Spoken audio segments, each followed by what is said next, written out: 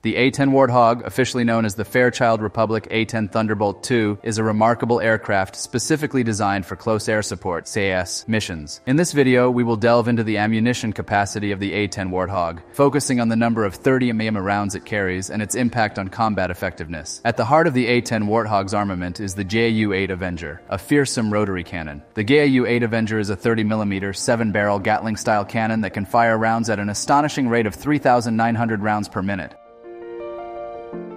To fully utilize the capabilities of the GAU 8 Avenger, the A-10 Warthog is equipped with a substantial ammunition capacity. This aircraft can carry a total of 1,174 rounds of 30 mm ammunition. The ammunition storage system is divided into two main components, the ammunition drum and the ammunition canisters.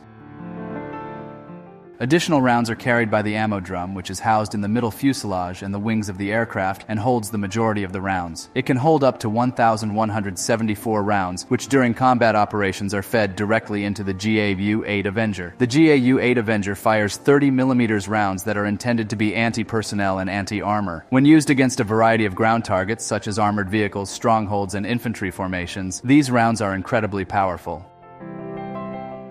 The A-10 Warthog carries different types of 30 mm rounds, including armor-piercing incendiary (API) rounds, high-explosive incendiary (HEI) rounds, and armor-piercing incendiary tracer (APT) rounds. Each round serves a specific purpose, providing versatility in engaging different types of targets encountered during CAS missions.